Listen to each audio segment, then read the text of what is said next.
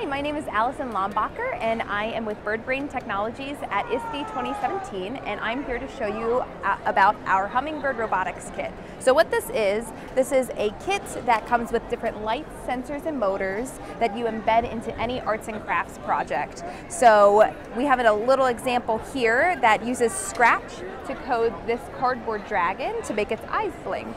So we are using the Hummingbird Duo controller board to make this happen. And as you can see, there's different areas for sensors and lights and motors that we plug in just using this little stick to just press the button down, slide the wire in, just like plugging in a stereo speaker wire, and then we do the programming to make it come to life.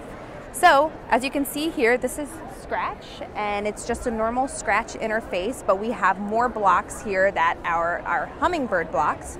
And what this code says is that when this space key is pressed, we are going to light the LEDs up but in both eyes in port one and port two at 100% red, green, and blue.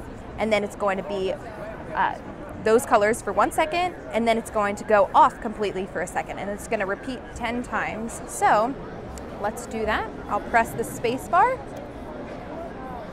Maybe? Okay. Oh, there we go.